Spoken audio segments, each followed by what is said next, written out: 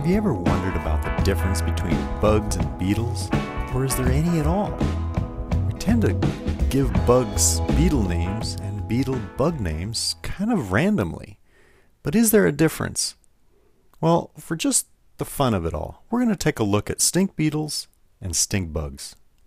If we look at the classification and taxonomy of these creatures, there are indeed evolutionary differences. They're common as far as being insects, but that's about where it stops. Because once we reach the order classification, beetles and bugs have distinctive differences. So let's explore some of the main differences between bugs and beetles. First of all, let's take a look at the mouth parts and their diet. When we're looking at bugs, the mouth parts are modified into a piercing needle to eat fruit, and suck up nectar. So they tend to have very pointy heads, whereas beetles have chewing mouthparts to eat plants and other insects, and they tend to have a rather flattened mouthpiece with mandibles so that they can grab and chew these plants. Now, if we look at the wings, bugs have wings with membranes that are slightly thicker than those of beetles. Beetles, on the other hand, have forewings modified to form hard, leathery coverings, which we call elytra.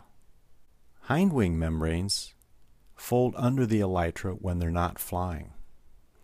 Now, when we're looking at the life cycle of these bugs and beetles, bugs have incomplete metamorphosis. In other words, the juveniles look like adults, except they're smaller and don't have wings.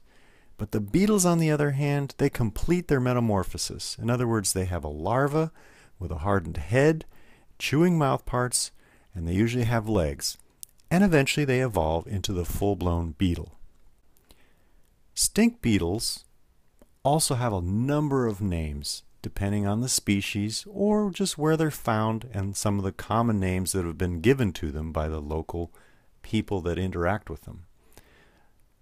So we can see them called pinacate beetles, clown bugs, eleodes, desert stink bugs, or just stink bugs, even though these are beetles, remember.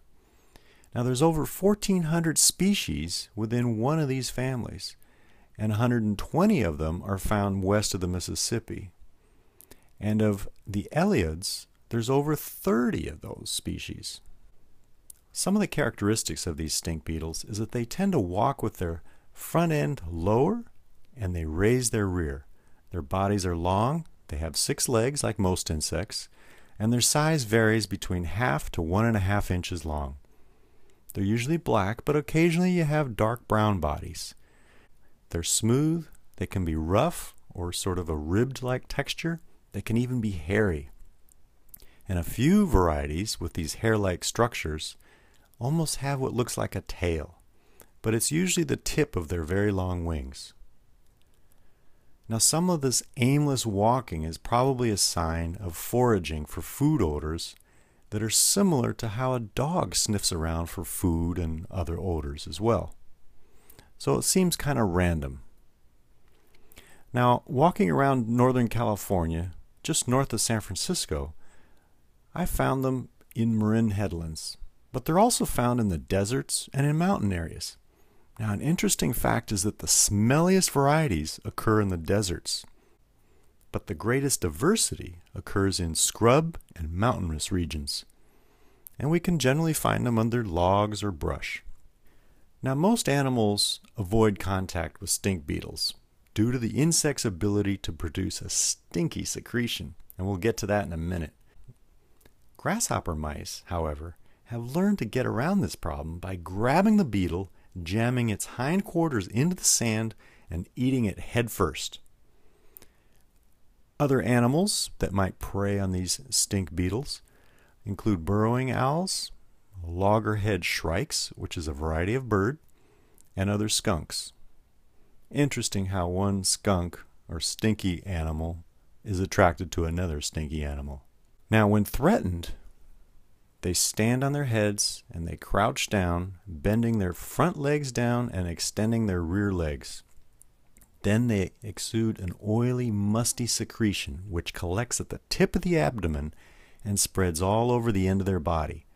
or they just eject a reddish brown to brownish secretion as a spray.